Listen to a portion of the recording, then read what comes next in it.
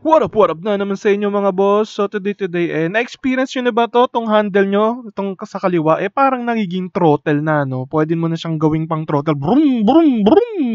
At tinry nyong tanggalin yung screw kasi gusto, pwede tong tanggalin eh. Pwede nyong baklasin, pwede nyong palitan. At nahirapan kayong tanggalin, ginagamitan nyo ng screwdriver. Para sa inyo tong video na to mga boss, syempre. Magsha-share lang tayo mga boss ng experience ko, no? Kasi ginamitan ko to ng screwdriver ng impact wrench, mga boss. Impact wrench siya, wala pa rin talab. Hindi talaga kaya maski anong gawin ko, wala talaga. Malulose thread lang yung screw niya. So, ang pinaka-technique lang talaga dito, mga boss, eh, napaka-simple lang pala. So, syempre mga boss, una-una, screwdriver, ordinaryong screwdriver lang mga boss. Tapos eto, pinaka-importante, yung vice grip, ito talagang babaklas dyan mga boss. Kasi itong vice grip mga boss, ano to eh, humihigpit yung dulo niya. So, kailangan nyo lang siya ihigpitan sa dulo, i-adjust nyo lang sa size niya, tapos ilalagay niya sa dulo, yun ang pang-iikot natin. So, napakasimple lang yung gagawin natin, papakita natin sa inyo mga boss, no? Kasi na-try ko na talaga to mga boss eh. Tinry ko talaga maski anong paraan. Ito lang yung pinaka pinakamadali na pwedeng gawin. Yan, ihigpit nyo lang dyan, no? Ididiin nyo dyan sa dulo ng handle. Tapos pagka na-press nyo na, ayan, medyo i-adjust-adjust natin ayon sa size niya para humigpit siya.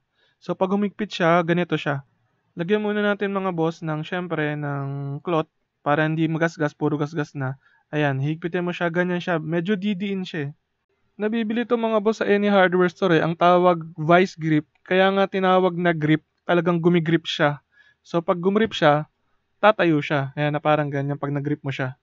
Ayan, bali ganyan siya mga boss. Bali pagka umipit na siya, tsaka natin iikutin ng pabaklas syempre. Counterclockwise ata to mga sir para mabaklas. Bali gagamitan nyo lang to ng puwersa no. Ayan, dinan nyo lang yung hawak, then ikot counterclockwise. Once na umikot siya, automatic yung tornilyo luluwang na yun. After nyo magawa yun, eh, kunin nyo na lang yung screwdriver. Tapos yan, pagka inikot nyo yan, automatic na siya, malambot na siya mga sir. So, mabilis siyang tanggalin. Ito mga sir, yung pinaka naisip ko na pinaka madaling gawin eh, gamit talaga ng vice grip. Kasi pag impact wrench or impact driver, yung pinapokpok, popokpok ka pa nun, gagamit ka pa ng puwersa. Itong vice grip kasi, ita-turn mo na lang, malaki yung chance na talagang umikot siya. So, yun na mga sir, no? Pwede nyo palitan dito yung handle grip nyo dito. So, yun lang. Shinare lang natin tong video natin, no? Para sa mga hindi nakakaalam, sa mga nagdi-DIY rin lang na tulad ko. So, thank you!